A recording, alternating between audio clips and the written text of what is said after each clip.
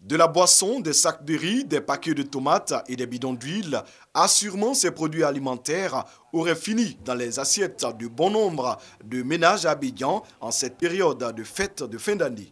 Et grâce à la vigilance des agents du ministère du Commerce, ces produits prohibés ont été identifiés et tirés des rayons de certains magasins. Ce sont des produits euh, de contrefaçon, des produits euh, également impropres et des produits non réglementaires. Cette fraude chez nous ici est estimé par les experts à environ 10% du notre PIB.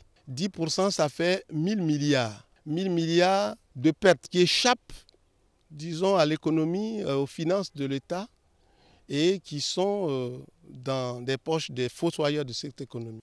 Les autorités préfectorales recommandent la vigilance aux consommateurs. Il faut faire attention à ce qu'on achète. Il faut systématiquement regarder les étiquettes de ce qu'on achète. Parce que euh, en voulant se nourrir, en voulant faire la fête, on peut se, créer des problèmes. On peut attenter à sa santé. Donc euh, le ministère du Commerce a fait un gros effort aujourd'hui, mais c'est à la population elle-même de veiller sur sa propre santé. Au total, 50 tonnes de marchandises ont été saisies. Ces produits prohibés ont été incinérés par les services du ministère du Commerce.